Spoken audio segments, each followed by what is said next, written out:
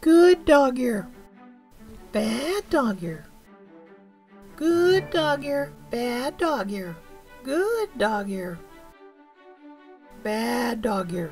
Please don't dog ear pages in a book. As a verb, dog ear means the folding of the page in a book in a triangular fashion to keep one's place. It's also a sacrilegious violation and affront to the book and the book nerd community at large. Shame on you.